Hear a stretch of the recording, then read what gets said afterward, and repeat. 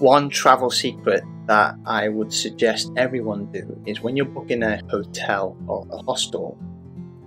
book one day when you get there, depending on where it is, of course, book one day, and then when you get to the hotel or the hostel,